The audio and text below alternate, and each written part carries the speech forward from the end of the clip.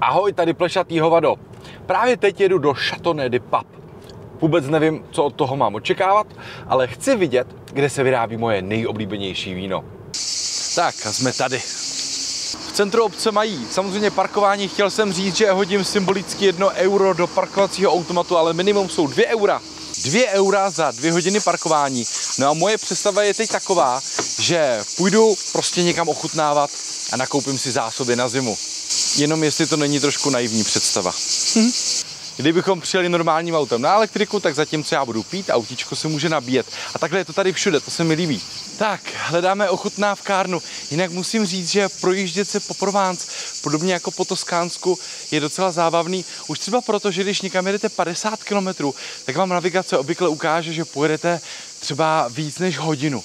Zkrátka ta průměrná rychlost tady po těch malých silničkách mezi políčky a vesničkami je prostě malá.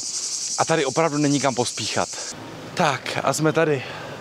Vinadea, to by mělo být něco jako ochutnávkový centrum s možností nákupu. Tak se jdem podívat. Je, yeah. tady je tak strašně příjemně, že to ani není možný.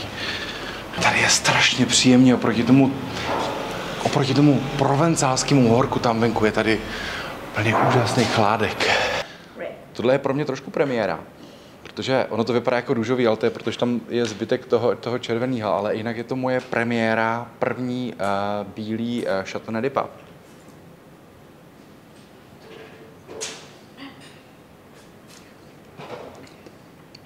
Mě prostě bílý nechutná. Každopádně tohle víno je ze dvou odrůd, 50 na 50. How do you call the grapes? Uh, Uh, Grenache blanc Grenache and blanc. uh, merci beaucoup.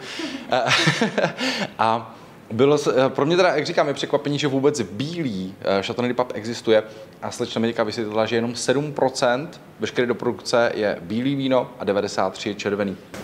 Tak, další ochutnávka. Non, je te donne ma carte.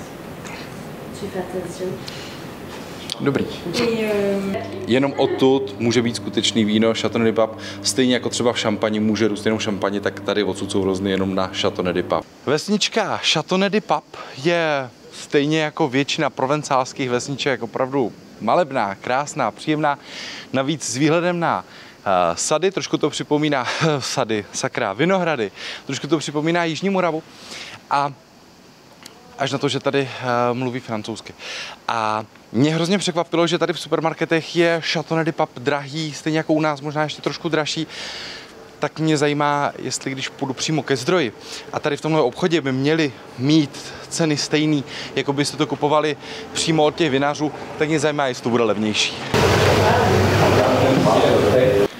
Tak, zase je tu chládek. Tentokrát to ale asi není tím, že bychom byli ve sklepě, ale je to normální klimatizace. Eh, Paní mi dovolila tady natáčet, což je fajn. A my se jdeme podívat, co tady teda mají za dobroty. Tak, a tady je ten regál, na který se těším nejvíc. Chateauneuf de Pape Rouge, červený vína.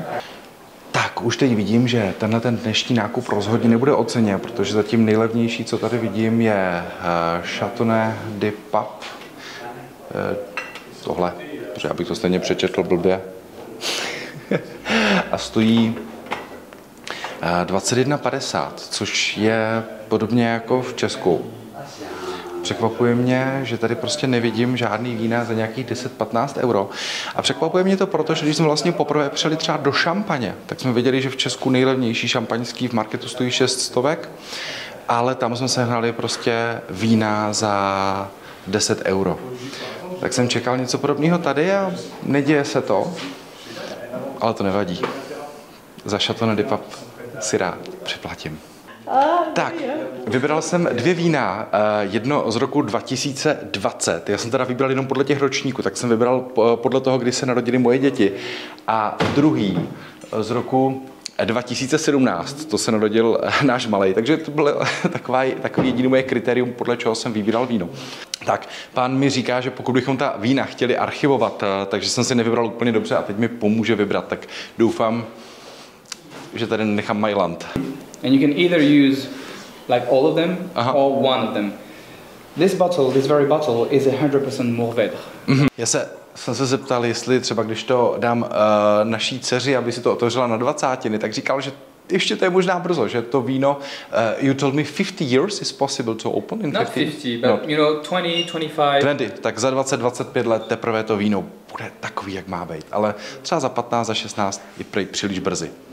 Vybíráme nějaký víno z roku 2017 vhodný k archivaci. Moc jich tu není, tak jsem se ptal, jestli to byl špatný ročník a prej naopak to byl velice dobrý ročník a už je skoro všechno vyprodaný. Tak musíme něco najít. Nechci tady nechat 100 euro za láhev, to mi přijde až příliš. Tady ty vína ze Chateau de Pape mají obvykle 14 nebo 15 alkoholu, jsou to silný, těžký vína, já tohle mám hrozně rád. No a všiml jsem si, že když si koupím nějaký dobrý víno z Liberonu, tak je taky takhle, jakoby těžký, taky má chuťově velice podobný, výrazný a taky má 14 nebo 15 alkoholu. Tak jsem se tady pána, který je evidentně odborník, podle toho, jak mluví, je to úžasný, o tom víně dokáže mluvit podle mě hodiny, tolik času nemám.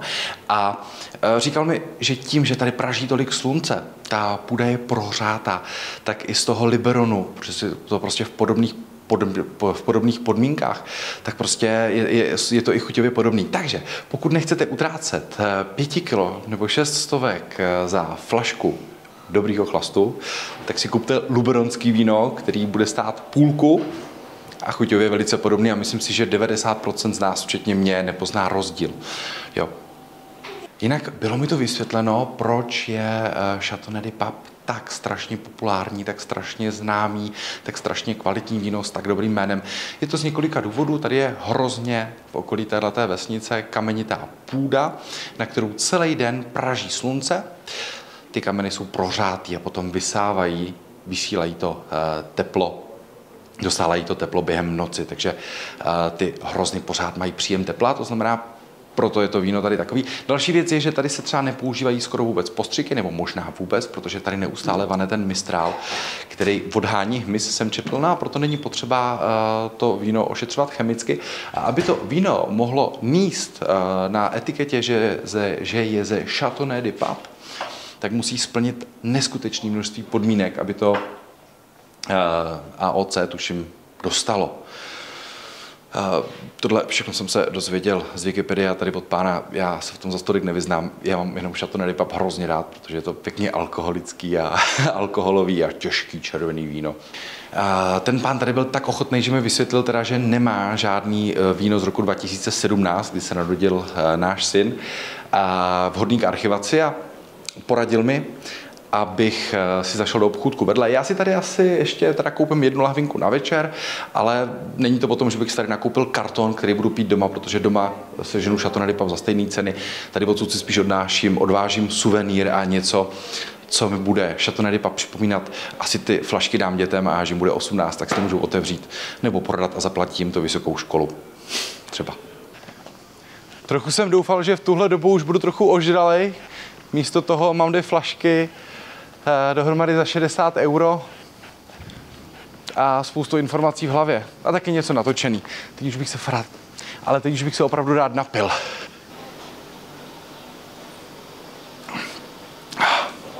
Má grády, to je úžasný. Nádherně voní. Já tyhle věci říkám, protože vím, že se to má říkat Jinak se v tom poz- nevyznám, jenom poznám, jestli je víno dobrý nebo ne a tohle je výborný a tohle malýmu koupím. Pan říká, že je vhodný k, k archivaci. Kupuju si lahvinku pro malýho a teď mám pro malou 2020 a druhou 2017. Tak jako v šampani jsou hlavní tři odrůdy, ze kterých se dělá šampaňské Pinot Noir, Pinot Meunier a Chardonnay, tak tady eh, v Chateauneuf de Pape je těch odrůd 13. No a tady jsou ty tři hlavní Le Sechard, vyslovuju strašně co. Eh, Le Mouverde a La Clairette. A ještě zajímavé je, že tady je 300 vinařů, kteří eh, dělají víno z téhle oblasti, se Chateauneuf de, Pape. Mně napadá, že jsem ten nákup eh, toho, těch prvních dvou lahví trochu uspěchal, že jsem se tady mohl nejdřív procházet a ochutnávat a ne to koupit v prvním obchodě, protože tady všude je nějaká možnost ochutnávky. Tak, koukněte na tu krajinu. A oni na těch ochutnávkách to dávají hrozně málo, že já budu muset pokračovat dál a dál, abych to ochutnal co nejvíc.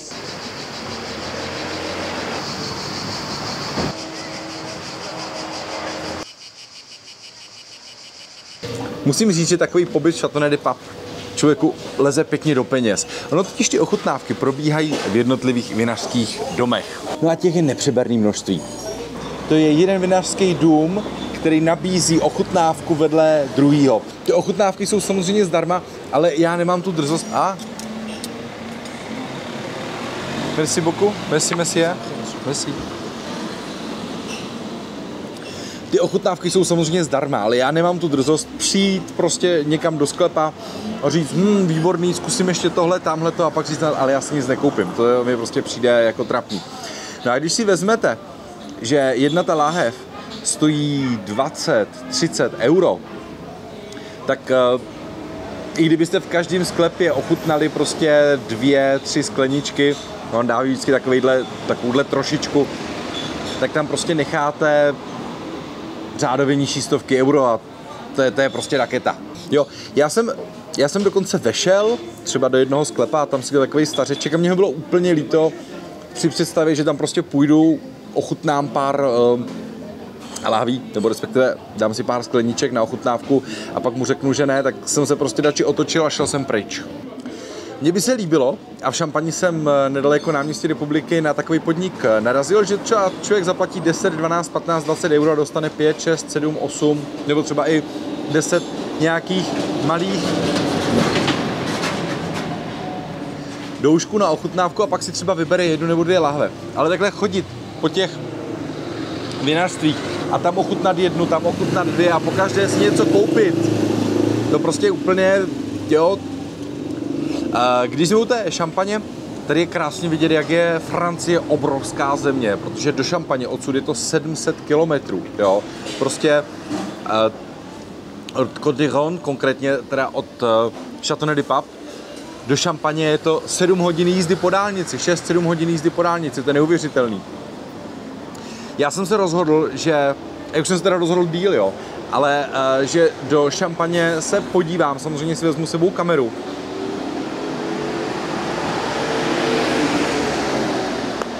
bych ty fosilní užvaný auto zakázal. Samozřejmě si sebou vezmu kameru a budeme točit, ochutnávat. Já vám o šampaňském něco řeknu, protože šampaňský mám hrozně rád, stejně jako uh, Chateauneuf de Pape, ale šampaňského jsem se pravda uh, naochutnával malinko víc. Když jsem u toho ochutnávání, já jsem si nechal tady přinést pastis. A pastis má tu výhodu, že vám k tomu vždycky přinesou spoustu studené vody. Tohle bude tak 3-4 deci, možná půl litrovka. Pastis je tady na jihu Francie opravdu levnej. Uh, 2,50, myslím, tady v tomhle tom dobrým podniku a tohle vůbec není špatný podnik, to je Café du Centre. Nicméně, 2,50, 2,50 za půl litr vody, k tomu zdarma panák pastisu. Já pastis jsem si tady docela zamiloval. Nechali jsme k tomu děti přičichnout, a Google si čichnul a říká, to je zubní pastis, protože mu to mělo zubní pastu. On je to z anízu. Má to takovou specifickou vůni a opravdu nejvíc ze všeho to připomíná zubní pastu, jo. A takhle, tam už je to naředěný tím ledem, takže ono už to změnilo tu barvu na tu mléčnou, ale pasty z lahvy eh, je čirej, jo. A teď se koukněte, jak to krásně vypadá, když tam nalejete tu vodu. A právě, že se to ředí tou vodou, tak je to úžasně osvěžující pití. Si vždycky nařídím jenom trošku, dám si douček. Úžasný. Úžasný, osvěžující. Je to je to opravdu výrazná chuť, kterou cítíte takhle na krajích jazyku.